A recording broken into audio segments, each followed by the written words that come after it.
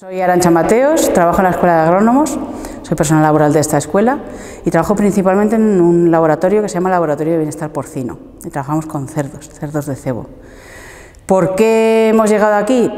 Pues porque siempre me han gustado los animales, siempre me ha gustado el campo y me gusta pelear por ellos.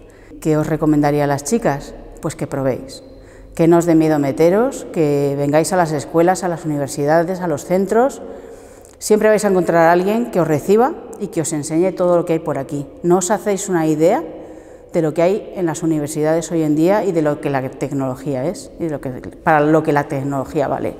Agrónomos poco tecnológico, no os confundáis, venir a verlo.